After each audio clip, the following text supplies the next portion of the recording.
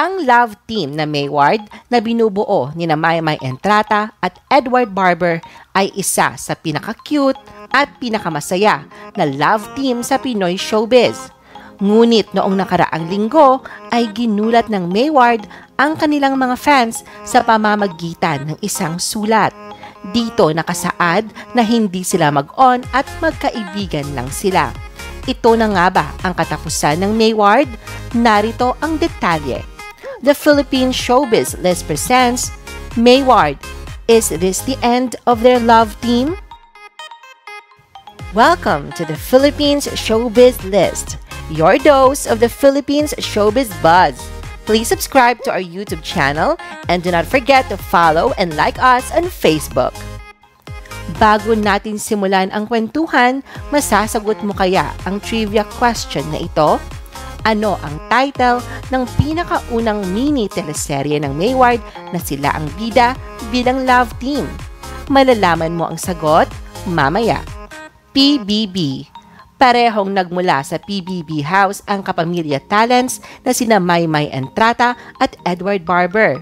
Si Maymay ang nanalo sa kompetisyon at si Edward naman ang fourth placer hindi pa man sila lumalabas ng bahay noon ay marami ng mga tagahanga sina Edward at Maymay. Napakalakas din ng chemistry ng dalawa. Kwela sila pag nasa harap ng mga fans at natutuwa ang mga tao sa kanila. Bago pa sila nabuo bilang isang love team ay nagmula sa magkabilang mundo sina Maymay at Edward. Si Maymay ay nagmula sa Cagayan de Oro City at may simpleng pangarap lang Pangarap niya ang mag-artista. Bago pa siya napasok sa PBB Lucky 7, ay nag-audition na siya ng dalawang beses sa reality show na nabanggit. Ang una ay noong 2012 at nasa high school pa siya at noong 2015 para sa PBB 737 pero hindi pa din siya pinalad. Noong kanyang pangatlong audition ay sinabi niya na ito na ang huli. Anya, naisip ko Sige pa, kaya pa, bahala na. Last na to.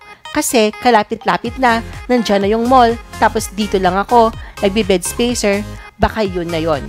Tinodo ko na. Pero ayon nga sa kasabihan, third time is the charm. Nakapasok sa wakas sa PBB Lucky 7 si Maymay.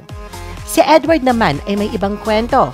Isa siyang teenager na Filipino-German na lumaki sa isang maliit na bayan sa Germany wala siyang masyadong alam sa Philippine showbiz pero may paborito na siyang Pinoy love team noon, ang Liz Ken. Hindi niya inasahan na makita niya si Liza Soberano at Enrique Hill noon sa Germany nung mag-promote ang mga ito ng kanilang teleserye na Dulce Amore. Umattend si Edward at ang kanyang kapatid na babae na si Laura sa promotional show at napansin sila ng mga ABS-CBN employee. Kwento ni Edward, there was someone there who saw us and he said, I know someone in PBB. Can I send a picture of you guys? That's how it started. After that, I got an online interview, online audition. At noong July 2016 ay pumunta sa Pilipinas ang buong pamilya ni Edward para magbakasyon pero hindi na pinabalik sa Germany si Edward.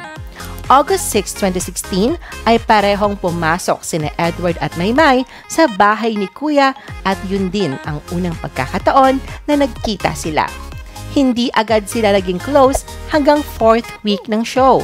Nahihirapan pa si Edward noon na mag-adjust sa kanyang paligid dahil hindi siya nakakaintindi at nakakapagsalita ng Pilipino. Anya, the first three weeks of my PBB stay, I hated it. As in, Day 2, I woke up and I opened my eyes because there was a wake up call.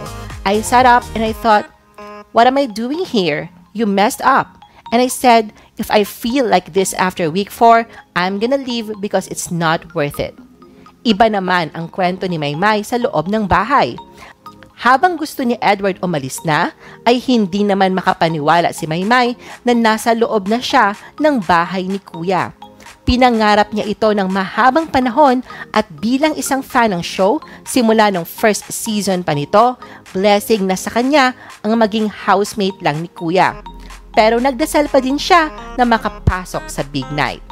Anya, hanggat hindi ko pa alam kung ano yung magiging resulta, kung hanggang sa dulo ba ako, maniniwala at maniniwala ako na ako ang mananalo. Alam mo yon kasi nag-audition pa lang, sinabi ko na gusto kong maging big winner. Nakatulong si Maymay sa pagstay ni Edward sa bahay. Sa tulong ng fellow housemate nila na si Marco Gallio, ay tinuruan nila si Edward ng Pilipino. At hindi nagtagal, ay naging mag-best friend si na Edward at Maymay. Dahil sa halos magkapareho sila ng personality, ay tinawag nila ang isa't isa na Twinnie. Inamin din noon ni Maymay na may crush siya kay Edward. Agad na benta sa mga fans ang tandem ni na Maymay at Edward. Isang kagayana at isang masayahin na Filipino-German. At madami ang napaisip na ang pagkakaibigan ba nila ay pwedeng maging something more romantic? At hindi pa man sila nakakalabas ng bahay ni Kuya ay magka-love team na sila. Binansagan sila ng mga fans na Mayward loving in tandem. Matapos nila makalabas sa bahay ni Kuya, ay nabigyan ng proyekto ang Mayward noong 2017 para sa isang pelikula, ang Loving in Tandem. At sa Star Magic Ball noong 2017 ay inanyayahan ni Edward si Maymay na maging kadate niya sa nasabing event. Ginanap ang kanyang imbitasyon kay Maymay sa guesting nila sa Magandang Buhay – yun ang pinakaunang pagkakataon na umaten sa red carpet ang Mayward. Tuloy-tuloy din ang mga proyekto ng magka-love team. Nasama sila sa teleserye ng Katniel na La Luna Sangre. Mas lalo ding naging close ang dalawa. Sa 21st birthday ni Maymay ay niregaluhan siya ni Edward ng trip to Bali. Umaten din si Maymay sa graduation ng kapatid ni Edward sa London ni-reveal din ni Edward noong October 2018 na si Maymay ang kanyang first love sa interview niya sa Tonight with Boy Abunda. April 2019 nang magkaroon sila ng pinakauna nilang mini teleserye na sila ang bida bilang love team at August 2019 ay sinelebrate nila ang third anniversary nila bilang love team. September 2019 ay tinanong sila ni Vice Ganda kung ano ba talaga ang real score nila Maymay at Edward. Ayon kay Edward, sa ngayon, hindi ko pa pwede sabihin kasi nirerespeto ko si Maymay at yung pamilya niya. Just Friends April 2020 ay ginulat ng Mayward ang kanilang mga fans nang magpalabas sila ng isang sulat sa kanilang mga social media accounts. Ayon sa sulat, sa loob ng tatlong taon na nandito ang Mayward, nakita nyo po at narinig nyo mula mismo sa aming dalawa ang tunay na nararamdaman namin para sa isa't isa. Masaya at masarap po sa pakiramdam ang idea ng isang romantic relationship but as we go along our journey, we realize na hindi basta-basta lang to get into a relationship. Sana po ay maintindihan niyo po kami. Patuloy naming inaalagaan ang isa't isa at ang relasyon namin bilang magkaibigan.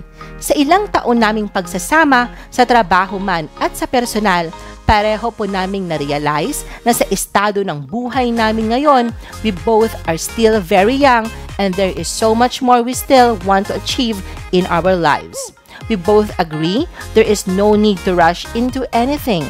This means not having a romantic relationship at this point pareho po naming na-realize that being the best of friends will even be more beneficial for us. Mas komportable kami makakapagtrabaho. Pero inassure nila ang mga fans na walang magbabago sa kanilang pagkakaibigan at working relationship. Patuloy nila, wala pong pagbabago. Kami pa rin ang magkasama dahil there's no one else we would rather work with than each other. Pinapanalangin po namin ang inyong suporta, respeto at pagmamahal sa amin, pati na sa aming pamilya at mga kaibigan. The End? Matapos ang pinost nila na sulat, ay madaming mga fans ang nagsasabing may ibang babae na dinidate si Edward in secret. Napansin din ng mga fans na nag-delete ng mga photos nila ni Edward si Maymay sa kanyang Instagram account.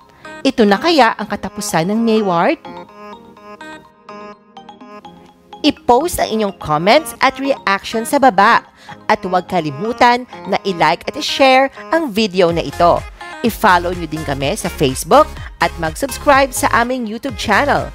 Thanks for watching!